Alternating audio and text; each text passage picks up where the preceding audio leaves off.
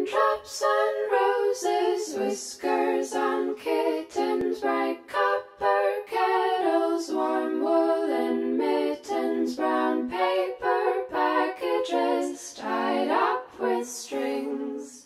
These are a few of my favorite